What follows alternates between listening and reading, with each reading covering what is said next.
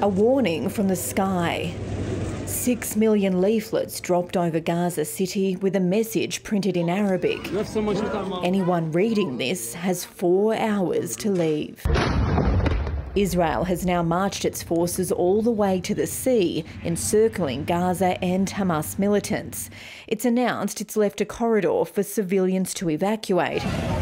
But for Palestinians trapped inside, nowhere is safe, nor is the journey to the south. Earlier in central Gaza, dozens were killed in a densely populated refugee camp. A photographer for a Turkish news service was out working when videos from his neighbourhood began flooding his phone. Four of his children's bodies would later be pulled from the rubble. I've lost all my children except one, he says. I've lost my only daughter. I don't know what else to say. Israel's military has indicated it'll soon push into Gaza City itself in force as it fights a war of words with Hamas over civilian casualties. They launch rockets on Israel 75 meters from an hospital. Why? Anger over American support of Israel is growing louder across the Arab world.